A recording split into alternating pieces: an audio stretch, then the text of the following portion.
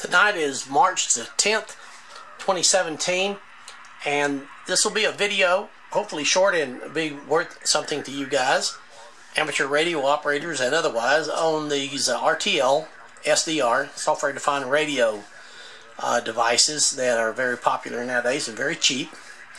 Uh, there is a very good uh, video already on YouTube that I recommend watching in in uh, in addition to mine. It's this gentleman right here. Uh, his is called Software Defined Radio Parentheses SDR RTL SDR. And he tells you how to set it all up, which is something I'm not going to go over, but I will add a few things to it that he didn't mention.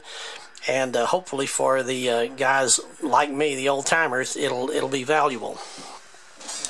Okay, first of all, the most important thing is this is the first one I bought, and this one I cannot make work on HF. It works great on VHF all the way up to a gigahertz. Pretty amazing little device. But I could not make this one work on HF. This one has a 28.8 megahertz crystal in it. Now the one that I can make work is this one right here, which is the one that he shows. There's a lot of glare there. Let's see if I can get the glare off of it. This one.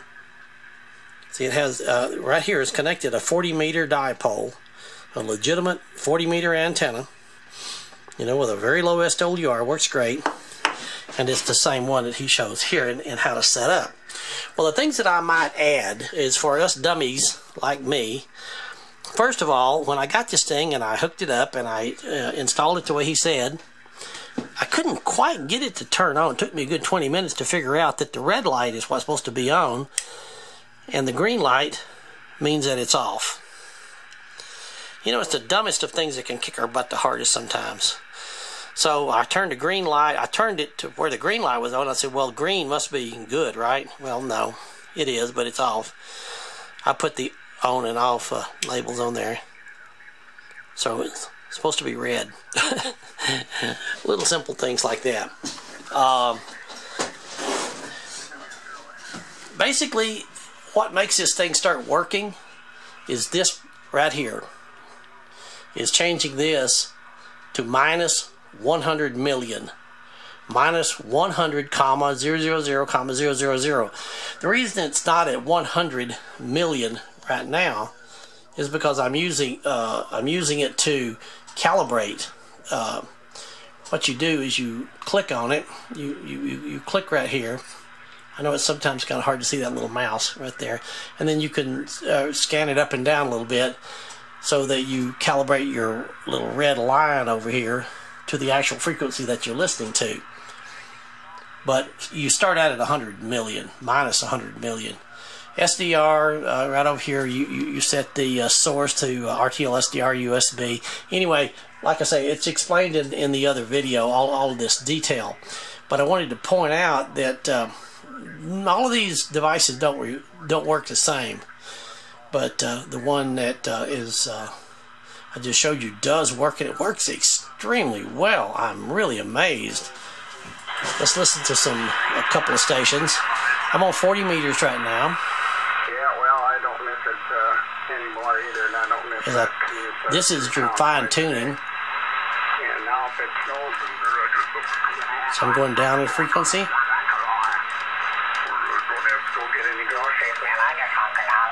Going up in frequency. Pretty amazing, isn't it? I mean, I'm a I'm a boat anchor guy. You know, I still use a Collins R390. I built my own amplifiers, built into a 1947 Collins Radio 30K1, built my own antennas.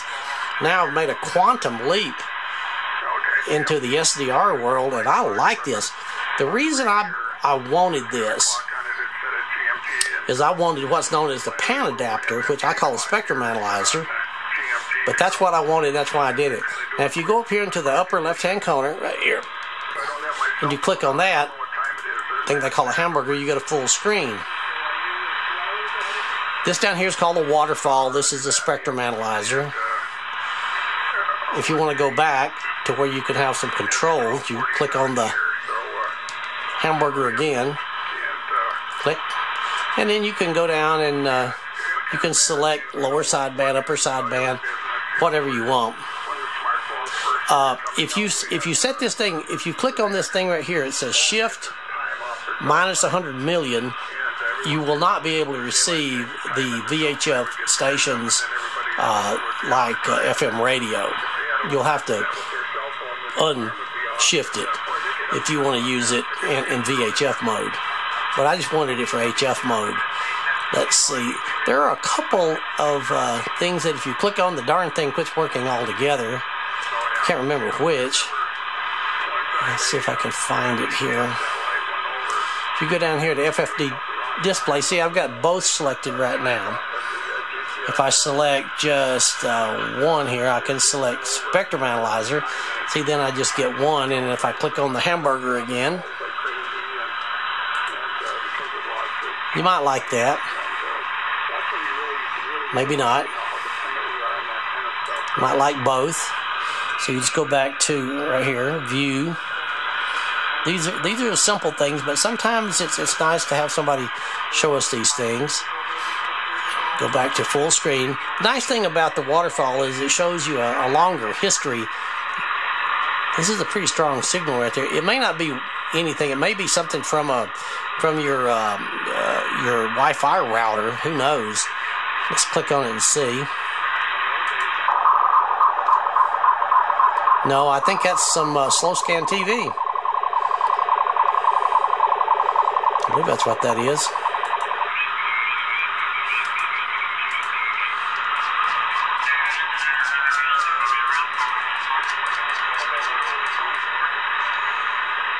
And let's go up to a stronger signal. Okay, well, you get the point. This, this is your fine tuning right here. Now, one of the things that will happen is if you click outside the band, um, let's go back here. See, right now, when we go back up here to radio, uh, we see LSB, lower sideband is selected. But if you click outside of it, it may, well, sometimes it'll change over to AM on you. It, it's liable to do something weird. Well, there it is. See, it, it went over to AM. Because I guess it figures we're not receiving a um, an amateur radio station anymore. So you got to kind of watch it. So some you, you you'll have to actually go back to uh, this display fairly often. now, let's tune it way down. Let's go down and say, uh, let's look for WWV. 765. Whoops. See, there's zero. There we go. Got on AM. There's some, something else coming in there, huh? Well, we can definitely hear it. WWV, but it sounds like there's some. Now that's pretty accurate, huh? Five megahertz down to the hertz. See. Um,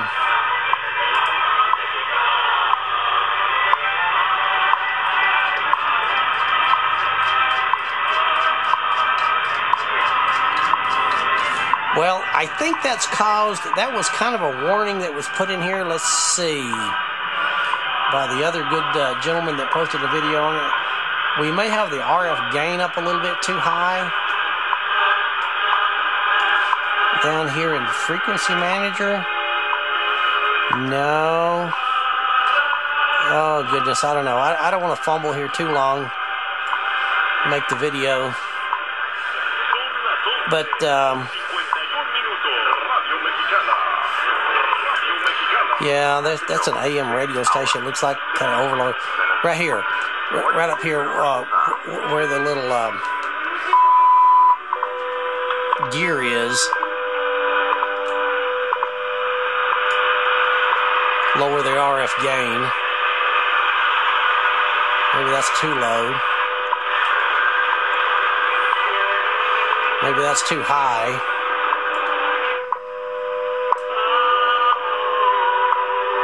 Maybe we need to play around with some of the uh, RTL AGC tuner AGC.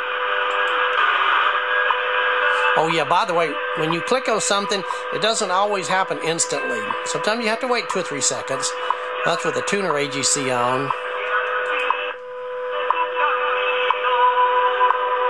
Sounds better with it off. RTL AGC. Well, anyway, there it is. It's pretty amazing. And uh, like I say, the only things that I had to add, and sometimes I need the dumbest of things to help me get through these things, is is the on-off switch, and make sure you you buy this one,